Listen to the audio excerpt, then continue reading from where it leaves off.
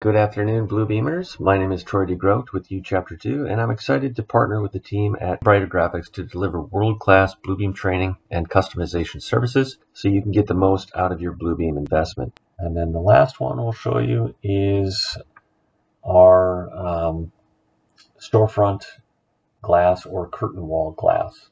On this project, we're looking at an elevation view of the building. Uh, in this case, you can see my custom tools over here. I've got storefront. Uh, this particular customer wanted an area measurement to measure um, the total square footage for install purposes. So they're pricing the install according to the square footage of the whole thing. So we've got storefront, curtain wall, and just regular windows have different prices.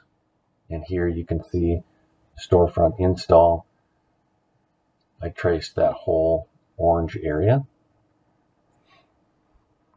And then we've got joints. So I set these up rather than clicking on each side of each of these horizontals. I built a tool so that I could place one in the middle and it represents both. So it's two per markup. So you save a little clicking there. I've got different ones for storefront and different ones for curtain walls. So I just built these to say storefront joint. Then we look at the different types of glass. I've got storefront glass and curtain wall glass. Um, again, just gave it generic names because the glass is going to be different every project. If you look over here, we've got some tempered glass across the bottom so that doesn't break, and then regular glass across the top and it's going to give us all of our quantities down here. Different types of glass. I can click on the subject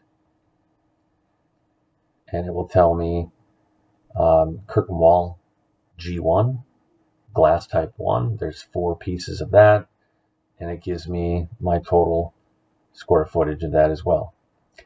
And then we also built in here some fun uh, formulas for um, fabrication time and the installs. And then we actually went in and figured out, including waste, uh, how many tubes of caulking we would need according to the glass. Because all of these area measurements, it's also giving you the perimeter. And we multiplied the perimeter of each one of these times two. So there's caulking on the inside and the outside. So it's figuring out not only the glass, the fabrication time, the installation time, the caulking quantity, um, the joints, all of that stuff is being calculated with just a few markups here. And then we built a uh, number thus. So if there's five of these same storefronts on different walls throughout the, the building, we can just say five thus and it'll multiply everything times 5 for our quantities.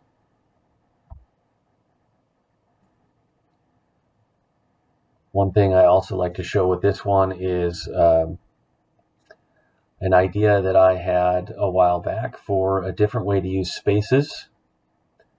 And uh, normally it's used for punch walks and things like that to locate where markups are. So you can see what markups are in each room, what um, what work needs to be done with those punch items or those snagging lists. Uh, what I did was kind of I'm tricking it to use my spaces tool and I just trace or I draw a space around that whole storefront and I'm going to give it a mark number. So I'm going to call this storefront 10 and hit OK.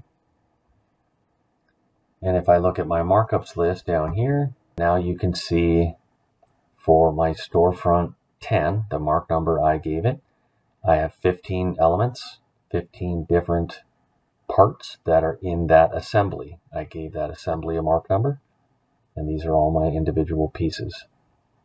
So I used the Spaces tool to create assemblies in my estimate. Uh, I hope you learned a thing or two. You can apply it to your work immediately. Uh, if you have any questions regarding training or customization services for your company, don't hesitate to reach out to the team at Brighter Graphics or myself. Uh, we'd be happy to help you with those.